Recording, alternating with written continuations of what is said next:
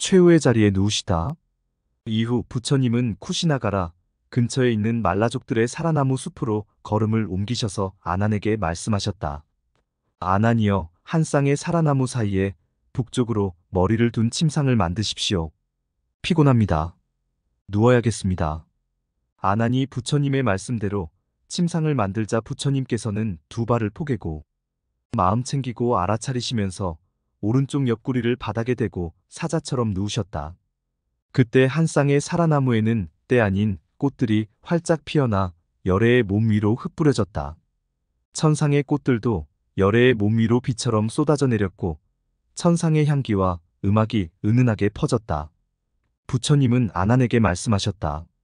지금 열애를 공경하고 예배하려고 꽃과 향기와 음악이 열애의 몸 위로 쏟아져 내리고 있습니다.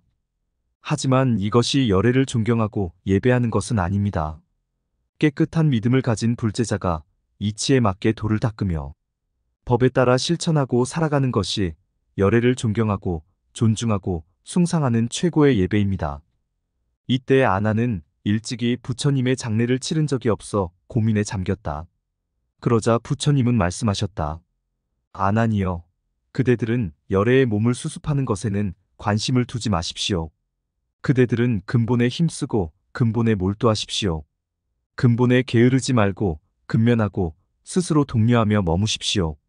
아나니여, 열애에 청정한 믿음이 있는 세상의 현자들이 열애의 몸을 수습할 것입니다. 부처님께서 당신의 장래에 대한 말씀을 마치자 아나는 조용히 물러나 떨어진 곳에 가서 구슬프게 흐느꼈다. 그러자 부처님은 아난을 부르신 뒤에 말씀하셨다.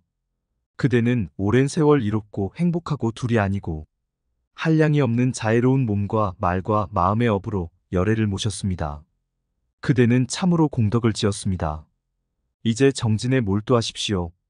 그대는 머지않아 번뇌를 다한 아라한이 될 것입니다. 부처님은 과거와 현재, 미래 3세를 통틀어서 아난만큼 열애를 지극하게 받들어 모시는 시자가 없을 것이요. 아난에게는 모든 사람이 그를 좋아하고 따르며 신뢰하는 네 가지 덕이 있음을 거듭 말씀하시며 위로하고 격려하셨다. 팔정도를 닦는 것이 부처님의 바른 제자. 쿠시나가라의 말라족 사람들에게 부처님의 완전한 열반 소식이 전해지자 사람들이 속속 모여들었다. 그런데 부처님을 뵙고 궁금한 것을 여쭙겠다는 수받다. 유행승과 그를 말리는 아난 사이에 작은 실랑이가 벌어졌다. 부처님은 아난에게 그를 말리지 말라 이르셨다. 부처님 앞에 다가온 수받다 유행승이 여쭈었다. 세상의 다른 종교 지도자들도 최상의 지혜를 가졌습니까? 그러자 부처님은 대답하셨다. 팔정도가 없으면 어떤 가르침과 계율에서든 법다운 수행자는 없습니다. 그러나 팔정도가 있으면 어떤 가르침과 계율에서든 법다운 수행자는 있습니다. 이 가르침과 계율에는 팔정도가 있습니다. 그러므로 오직 여기에만 법다운 수행자가 있습니다. 다른 가르침에는 법다운 수행자가 텅 비어 있습니다. 수받다여, 이 비구들이 바르게 머무는 한 세상에는 아라한들이 텅 비지 않을 것입니다. 그는 부처님의 법문을 듣고 의욕이 사라져 마음에 커다란 기쁨이 생겨 출가하기를 청하였다. 부처님이 아난을 불러 그를 출가시키도록 하시니 수받다는 부처님의 마지막 제자가 되었다. 게으르지 말라. 부처님은 거듭 제자들에게 말씀하셨다. 아마 그대들에게 스승의 가르침은 끝나버렸다. 이제 스승은 계시지 않는다. 라는 이런 생각이 들지도 모릅니다. 그러나 그렇게 생각하면 안 됩니다. 내가 가고 난 뒤에는 내가 그대들에게 가르친 법과 율이 그대들의 스승이 될 것입니다.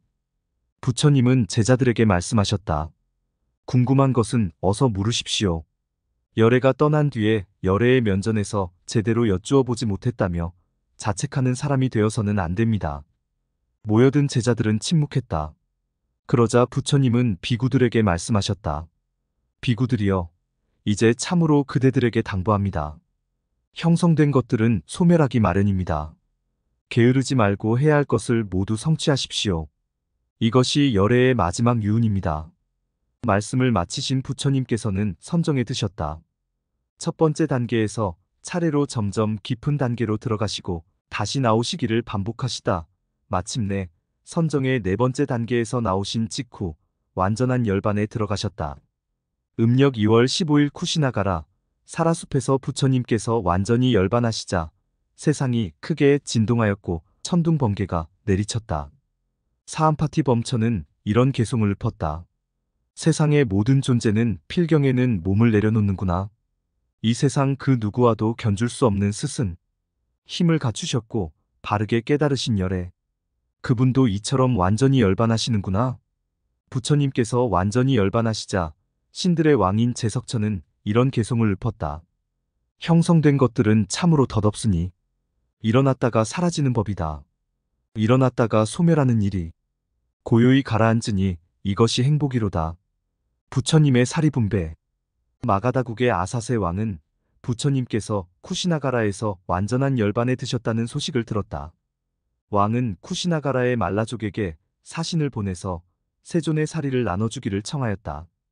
바이샬리에 사는 리차위족, 카필라에 사는 석가족, 알라까빠에 사는 분리족, 라마가마에 사는 콜리아족, 웨타디빠에 사는 바라문, 바와에 사는 말라족도 부처님께서 쿠시나가라에서 완전한 열반에 드셨다는 소식을 듣고 역시 세존의 사리를 나눠주기를 청하였다. 서로가 세존의 사리를 원하느라 갈등을 빚게 되자 도나 바라문이 말했다. 버시여, 나의 제안을 들어보십시오. 우리의 부처님은 인육을 설하신 분입니다. 최고이신 어른의 사리 분배를 두고 싸움이 일어난다면 옳지 않습니다. 우리 모두 우정을 가지고 화합하며 사이좋게 나눕시다. 많은 사람들이 진실한 눈을 가지신 분께 청정한 믿음을 가지도록 널리 사방에 탑들을 만드십시오. 도나 바라무는 부처님의 사리를 여덟 등분으로 공평하게 잘 나누어 주었고 사리를 담았던 사리함은 자신이 가져갔다. 뒤늦게 소식을 듣고 찾아온 삐팔리 숲에 사는 모리아족은 세존을 다비한 재를 가져갔다. 부처님의 사리와 사리함과 재는 탑 속에 안치되었다. 이리하여 인도 전역에 10개의 탑이 생겨났다. 사람들은 석가모니 부처님이 완전한 열반을 하신 뒤 탑을 찾아가 경배하였다. 신의 왕, 용의 왕, 인간의 왕에게 예경을 받는 부처님은 이처럼 인간의 왕들로부터 예배를 받았다. 부처님을 언제나 다시 친견할 수 있을까? 부처님과 가르침이 간절한 사람이라면 탑을 향해 서서 두 손을 높이 합장하여 절을 올려야 한다. 백 겁이 지나도록 친견하기 어려운 분이시기 때문이다. 룸빈이 숲에서 태어나 카필라에서 청년 시절을 보낸 석가모니. 부처님은 태어난 존재들이 겪는 생로병사의 괴로움을 누구보다 진지하게 관찰하셨다. 누구나 겪는 일이지만 누구든 생로병사가 자기 앞에 나타나면 겪어서는 안 될 일을 겪는 것처럼 놀라고 당황하고 괴로워하였다. 중생은 그 괴로움을 벗어나기 위해 번민하면서 온갖 업을 짓고 그 과보에 또다시 방황하고 힘들어한다. 태어난 존재에게 찾아오게 마련인 이런 이치에 미혹한 중생들은 선업이든 악업을 짓고 즐거운 과보에는 기뻐하고 괴로운 과보에는 슬퍼하며 그 되풀이되는 생사에서 벗어날 줄 모른다. 석가모니 부처님은 이 윤회의 틀을 벗어나고자 출가하였고 온갖 종교적 방황을 두루 겪은 뒤 독자적인 방식으로 스스로 깨어난 분, 부처님, 세존이 되셨다. 성불하신 이후 80세에 쿠시나가라에서 완전한 열반에 드시기까지 오직 당신이 깨달은 법을 설파하기 위해 살아가신 부처님은 마지막 자리에서도 당신을 존경하고 공경하는 일은 가르침을 닫고 익히고 가르침대로 살아가는 길임을 설파하셨다. 부처님은 이 세상 모든 것은 덧없기 짝이 없으니 게으름 피우지 말고 정진해서 이번 생에서 이뤄야 할 가치 있는 일을 반드시 성취하기를 마지막 유언으로 당부하셨다.